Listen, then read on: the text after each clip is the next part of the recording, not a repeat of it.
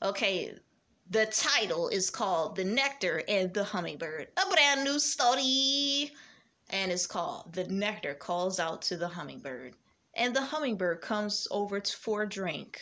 The flower closes itself. This causes perplexity in the hummingbird. The nectar talks to the hummingbird, and this scares that little bird. The little bird is like, What's going on, man? The nectar asks, Aren't you ever curious about other things in life? You come to the garden every day and eat from these flowers. The bird out of the blue learns to really speak.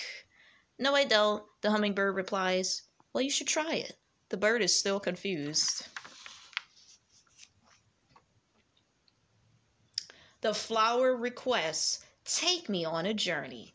We have things to speak about and things to discover. Ooh, look at that. They're going to go on a journey.